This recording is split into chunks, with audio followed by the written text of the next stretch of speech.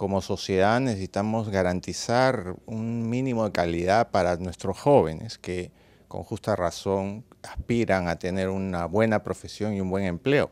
En ese sentido, esta ley es parte de una reforma que se necesitaba en el país y por eso la gran mayoría de universidades serias del país nos estamos ya adecuando a estos dispositivos.